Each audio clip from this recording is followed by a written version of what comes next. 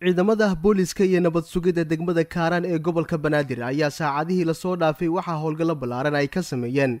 Xaafadaha ay ka kooban tahay degmadaasi iyaga oo gacanta ku soo dhigay waxyaabaha maanka dooriya oo isugu jira xashiish calaq daawooyin iyo dadkii watay.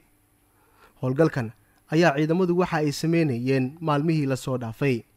Taliska booliska ah ayaa waxyaabaha maanka dooriya waxa uu ku soo bandhigay saldhigga degmada kaaraan ee gobolka banaadir waxaana lagu gubay xeebta.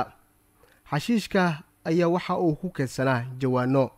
Afhayeenka booliska soomaaliya ayaa sheegay in howlgalka socda uu yahay mid ka dhan ah kooxo weereedyo waxyaabaha maanka dooriya iyo al-shabaab isaga oo sheegay in marka la gaaro bisha barakeysan ee ramadaan howlgallada ay noqon doonaan kuwa laba jibaaro sida hadda aad ku arkayseen gudaha saldhigga degmada kaaraan waxaan ku soo bandhignay eedaysanayaal iyo muqaadaraad marag muujin muqaadaraad ka kooban xashiish calaq iyo daawooyinka nuuca maanka dooriya loona isticmaalo muqaadaraad ahaan oo howlgalkii la dagaalanka muqaadaraadka ciidanka booliiska soomaaliyeed ee taliska qaybta guud ee booliiska gobolka banaadir howlgalladii ay sameeyeen ay gacanta ku soo dhigeen.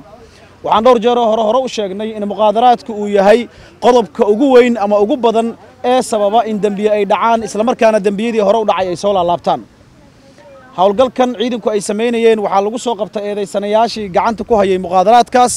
Muqaadaraadka oo indhihiinna aad ku aragteen oo ka kooban ilaa lix jawaan oo xashiish ah.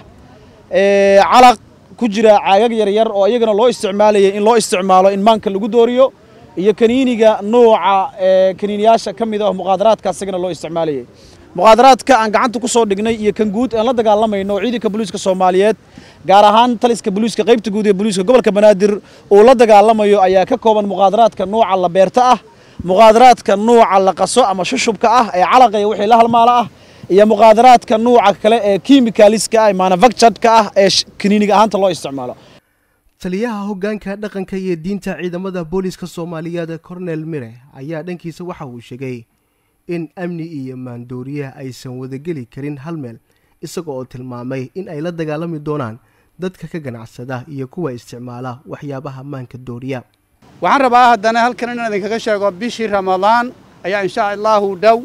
Waxaana ummad muslimiin ah alxamdu lilaah mana habboona ummad muslimiinu inay isticmaasho maandooriye waxaan bulshada soomaaliya inaan u sheega aan rabaa run ahaantii cidda isticmaasho run ahaantii ma ahan cid garashadeedu ay fiican tahay. Cidda ka ganacsata ee rabta inay owlaad ka korsato ee ay rabto in horumar adduunye mid aakhiraba ay gaaraan waa ay khaldan yihiin. Waxaa ayagana khaldan cidda fiirsanayso ee aan tallaab ka qaadayn ee aan waaninayn ee u arka kuwooda inaysan isticmaalin kaliya ku fikiraya kuwaas ayaa isticmaalaya. Waa waajib wadareed cid waliba saaran. Culimmaday saaran tahay dhammaan shacabka soomaaliyeeday saaran tahay boliiska si goonihay u saaran tahay si goonihi mar labaad culimmaduna mas'uuliyaddaas waxaa la rabaa inay iska xilqaamaan waxyaabaha maanka dooriya gaar ahaan xashiishka ayaa la sheegay in dadka isticmaala ay caqabad ku yihiin amniga magaalada muqdisho. Dowladda federaalk soomaaliya ayaa inta badan waxa ay ku celcelisaa in ay la dagaalamayso dadka iyagu isticmaala waxyaabaha maanka dooriya